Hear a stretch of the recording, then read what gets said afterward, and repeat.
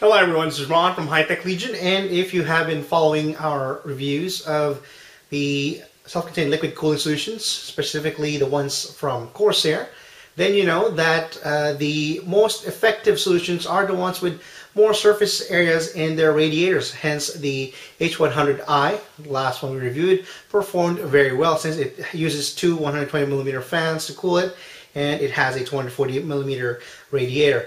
Uh, the next step is of course the Asetek offerings uh, that are using 140 millimeter fans, in particular the H90 and the H110, uh, both uh, from Corsair that are offered with a five-year warranty and comes in a uh, it requires a case that has mounting for a 280 millimeter radiator and a 140 millimeter radiator. So let's dive in and take a closer look at these coolers and see how well it stacks up against the H100i and H100 and other high-end air coolers.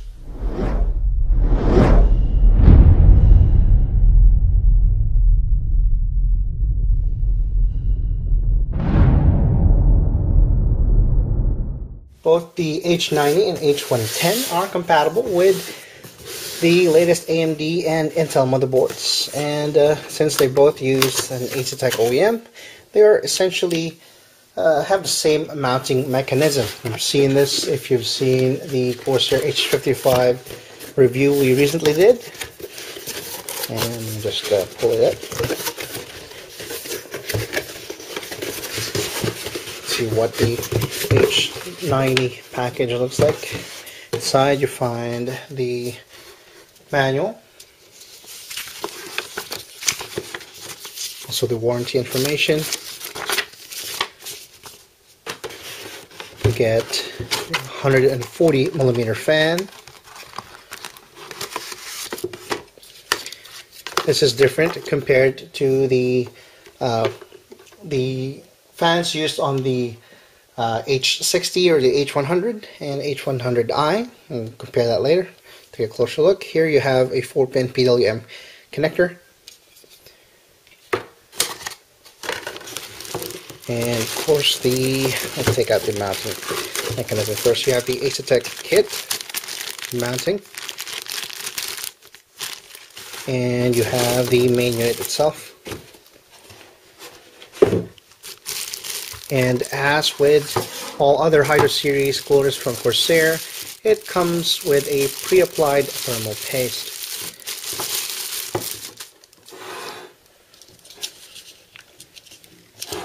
Just remove that so you can see what it looks like. To twist it a bit, there you go. See that the even without removing the thermal interface material, you can see that it is a very high quality copper base. And you have the connector for the pump. You have a three pin connector for the pump and this is of course uh, recommended that you plug it into a header that provides full 12 volt so that the pump is working in full speed. Also have the uh, rubber hose and the 148 millimeter radiator. Let me put this aside and take a closer look at the H110.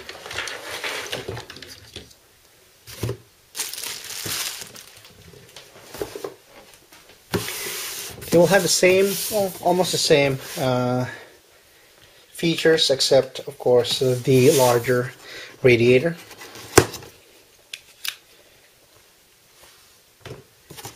That the box is larger than even the H100 and the H100i.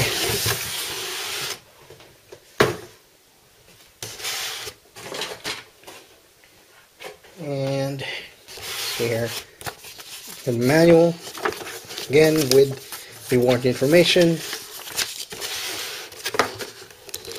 We have a pair of 140 millimeter fans, which are pretty much similar to the one used on the H90.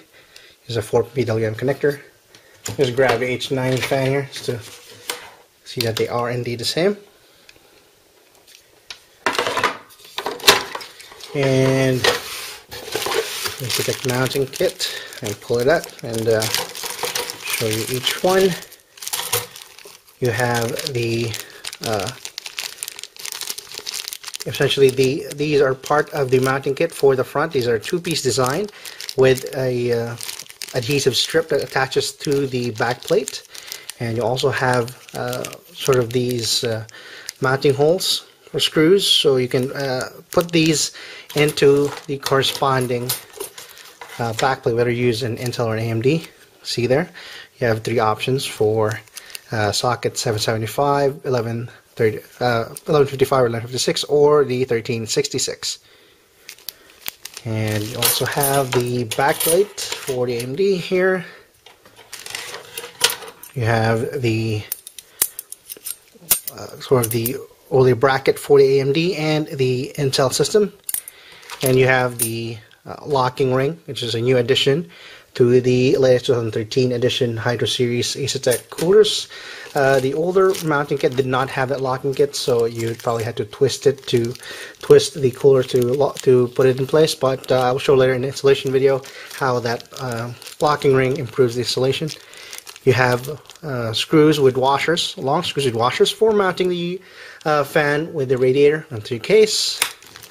Or you can just mount the fan into the radiator. You have your, I believe these are the LGA 2011 since they are sort of larger threads there, uh, mounting locks.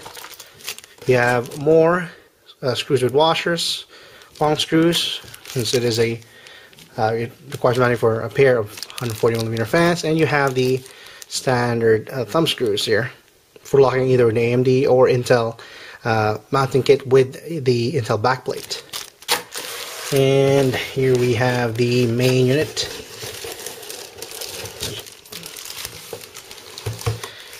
Very large.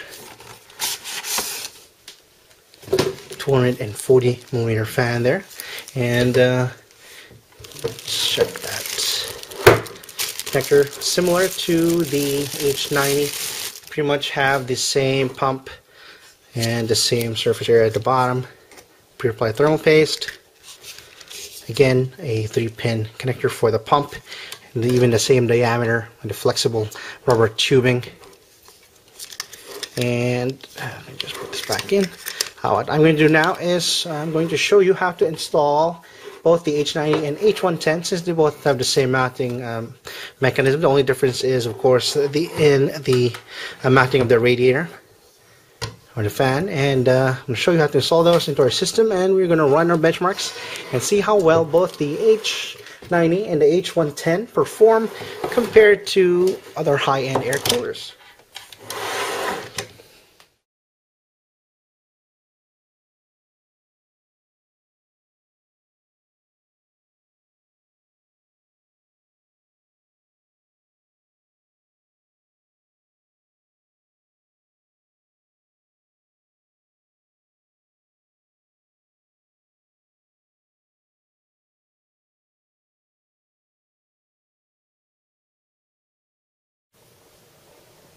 All right, there you have it. Uh, the results are a little bit surprising, to say the least. I immediately assumed that the H110 will be a runaway winner, taking the top spot. Well, it kind of did, uh, but the H100i was right behind there in uh, performance mode. But of course, the as I mentioned in my H100i review, the fan speed and fan noise with H100i is uh, quite unbearable even in balance in uh, balance mode. And uh, of course the H110 uh, the fan it has it runs at around 17 uh, rather at 1500 RPM at maximum. It is a 148 millimeter fan compared to the H100i's 120 millimeter fan which runs up to uh, 2700 RPM and even the H100, which uh, I think it ramps up to around 2600 RPM, give or take 10%. So that is definitely a lot more noisier compared to the H110. And uh, even at full 12 volt, the H110 was actually, uh, you can, I was able to write my review with the fan running. I couldn't say that same with H100i. And uh, that is, of course, uh, you, that's why you can't just look at the numbers and just you know declare H100i is better this way. But I would have you know it makes more sense when you can actually tolerate the performance of uh, the noise performance under those conditions. Because when the when you compare the balance performance uh, they are pretty much uh, the uh, H110 is pretty much on on top of that, and the H90 was admirably performed as well, considering it is the only single fan setup uh, that we tested. Uh, naturally, the tower air coolers are still superior uh, because of their size and they really do well once you overclock the system especially they they can take a lot more of the heat. Plus they they are also using 140 millimeter fans. Uh, uh, the H100 in terms of pricing the H100 can be uh, uh, had now for $99 uh, down from 119 originally and even I saw it as low as seventy dollars, which is a very good deal. So you definitely grab it when you when you see those uh, the, that deal for H100 and the uh, with a $99 MSRP with H100 currently, they're just trying to phase it out. The H90 is similarly priced, so it's kind of hard pressed in between that. If you can find the H100 still at that price, you'd probably uh, you could decide whether you want the H90 or the H100. The H90 of course requires a 140 millimeter space on your case so that it's still case dependent but the H90 performs very well uh, in terms of uh, even you can still run a 7 volt the performance is still very good and you don't have to contend with noisy fans. Uh, the H110 the mounting will probably be difficult for most users since it is a 280 millimeter radiator and it's quite big. It's hard enough to fit, uh, find cases that fit the uh, 240 millimeter uh, H100 H100i sometimes. But uh, for retail price of uh, 129, it is the highest priced uh, air cooler compared, or rather self-contained cooler compared to the H100i, which is 119 and 99. The $10, of course, gets you performance that you can live with. not just strictly uh, in uh, not just strictly using the fans. And of course, the competition, the close competition, is um, NZXT's X60, which uses higher RPM fans. I believe it goes up to 2,000 something RPM, and definitely. Uh, I, I, won't be surprised if that will outperform the H110 in that regard just because of the fans. Uh, but uh, one huge advantage that Corsair uh, that Corsair provides is the fact that it has five-year warranty compared to NZXT's two years. So uh, that is completely up to you, to the users, of course. Uh, the H110, H90 essentially uh, no extras compared to the H100i, which has software adjustment, and Corsair link adjustment, and RGB LED. And I believe the NZXT uh, uh, Kraken also has that. The X60 uh, has LED as well and software control. But the in terms of warranty, five year warranty is a lot is a lot of peace of mind compared to a two year warranty, and essentially it will outlive your systems, uh, your cooling, uh, your H110 and H90 will outlive your uh, system that you probably have right now, even if it's a high end system, because within five years. You can even if you upgrade once every three years, you will definitely upgrade at least once, and uh, you can most likely reuse it. Uh, I have to give these two a gold award each. Uh, they had some, uh, the performance-wise, I uh, what I love about the uh, these H90 uh, and H110 made by Asetek compared to the CoolIT Design H100i was the fact that definitely the fans are a lot quieter. Uh, they they don't they do not look flashy at all, but they definitely work if you're case can support uh, the uh, the 280 millimeter and 140 millimeter uh, setup. One thing I, I, had to note though was the fact that I didn't like the the, the shortness of the fan cables. Uh, surprisingly, the H100i, which I noted in my H100i review, actually had long cables.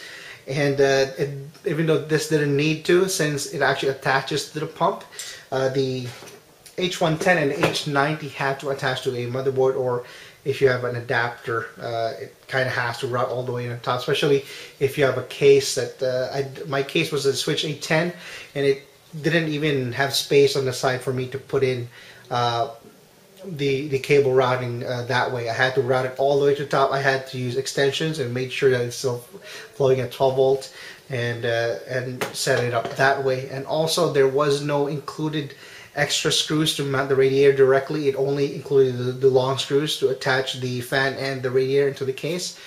and there's also no screws for attaching extra fans, which is a little disappointing. Because I'm not, I'm not surprised because the H100i didn't have extra screws to mount extra fans either, but it still had screws for mounting it directly, the radiator directly on the case. So that's just something to note.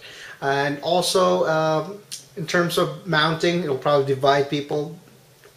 I really favor the CoolIT mounting system. It is much easier compared to the uh, Asetek mounting, but Asetek is easy enough. The only thing eh, with Asetek is that, uh, as one user noted, there were there are going to be some clearance issues with uh, some ASRock motherboards and the round backplate. Uh, they could easily fix this, of course, by updating the the backplate design, and also the uh, there are a lot of small uh, items that you need to kind of assemble the two-piece locking mechanism and the metal mounting stud uh, uh, mounting pin that you have to push in through the the back plate. These are a lot of uh, tiny uh, tiny items that you need to keep track of compared to the CoolIT's single mount and then a thumb screw or a, and then the the four uh, mount the four standoffs is much easier compared to the Asetek mounting but it's still the Asetek mounting is not hard at all uh, especially compared to mounting large air coolers and uh,